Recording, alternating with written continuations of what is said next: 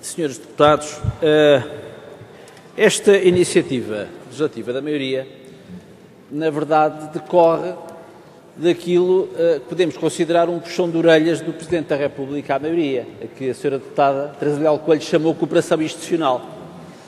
Bom, mas eu diria eh, um puxão de orelhas suave, na medida em que o Sr. Presidente da República decidiu promulgar o diploma e depois dirigir uma mensagem à Assembleia da República chamando a atenção para aquilo que, em seu entender, o legislador fez mal.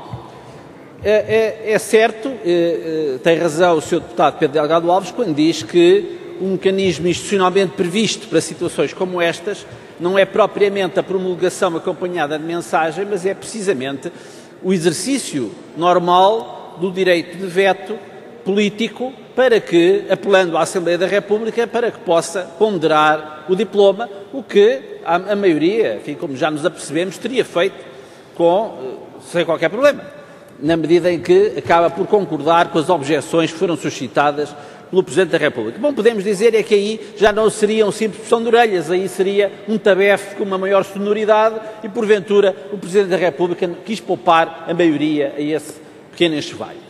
Ora bem, eh, relativamente às eh, eh, alterações que aqui são propostas, podemos dizer que uma delas tem enfim, um caráter pouco inovador, poderia até resultar de uma boa interpretação da lei, a de considerar que não seria possível legalmente ao Primeiro-Ministro desclassificar uma matéria que tivesse sido classificada pelo Presidente da República ou pelo Presidente da Assembleia da República como secretária de Estado.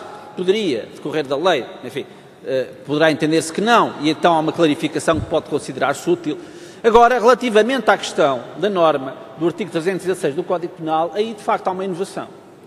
Há inovação.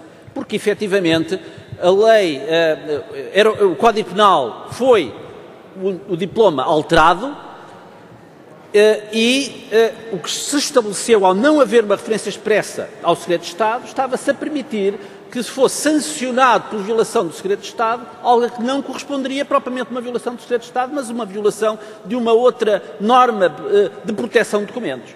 E, portanto, estava-se a, a, a, a, sancionar uma conduta com um regime mais gravoso do que aquele que se pretendia uh, inicialmente.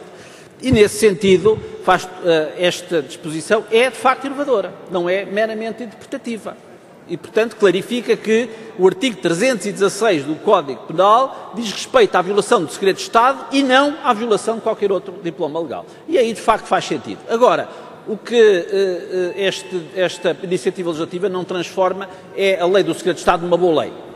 Não é, é uma lei que protege a opacidade no exercício do Estado, que consagram uma latitude manifestamente excessiva da possibilidade de declaração de documentos como segredo de Estado e consagram uma concentração excessiva, uma, uma latitude, uma latitude, do nosso ponto de vista, excessiva quanto à possibilidade de declaração de documentos como segredo de Estado. Para além de que, tal como acontece com a lei que foi aprovada em 1994, vamos ver, vamos ver se daqui a 20 anos não se está a concluir o mesmo que se conclui relativamente à lei anterior é que Queira concluir, lei, Sr. Deputado. Concluir, Sra. Presidente, é que esta lei não passou num exercício de ficção legislativa.